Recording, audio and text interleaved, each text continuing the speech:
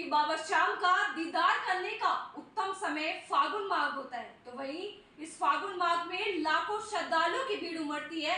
तो वही आपको बता दें कि जयपुर में आज बिहारी मंदिर में विशाल फागोत्सव भजन संध्या का किया जाएगा आयोजन। मंदिर श्री बिहारी जी, हनुमान जी, सोरखियों का रास्ता किशनपोल बाज़ार जयपुर में आज विशाल फागोत्सव शाम भजन संध्या का आयोजन मंदिर के महंत स्वामी श्री नरेंद्र कुमार जी महाराज के सानिध्य में होगा।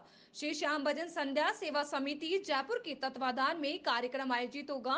मंदिर के महंत नरेंद्र महाराज जी ने बताया कि रात्रि आठ बजे से भक्तजन कार्यक्रम में अखंड ज्योति, पुष्प वर्षा व बिहारी जी के अलौकिक श्रृंगार के साथ साथ रहस्य में भजनों का आनंद लेंगे और साथ ही अधिक लोगों से विशाल फागोत्सव में पधारने की अपील भी की।